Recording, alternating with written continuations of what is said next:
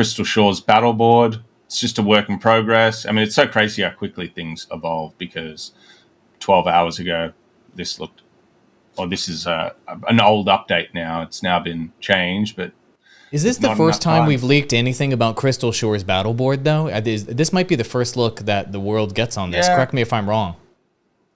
I mean, these these concepts are very rough. You know, we we take these and then have to see if the camera can pan around the scenes correctly. The exciting thing is, is now we officially have inside of Unreal Engine every single region and every single battle board being worked on to some extent.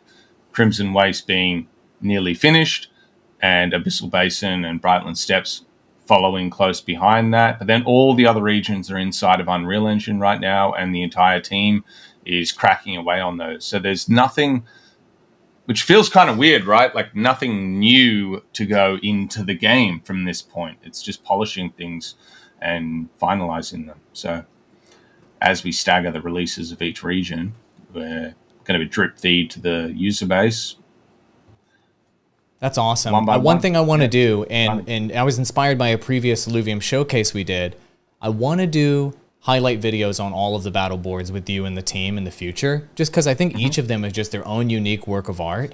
And, yep. and audience, let us know if you'd be interested in that. But I want to create a highlight video for each one. Think before you start Mario Kart, before you go in the level, it's got those pre-planned camera mm. shots that shows you all of the cool highlights and details of the level that you're about to race in, Bowser statue, fountains, whatever. I would love to do those for our battle boards, and it'll help people recognize those items, I think, when they're actually fighting on them. We're uh, doing and, that, by the way. That's planned.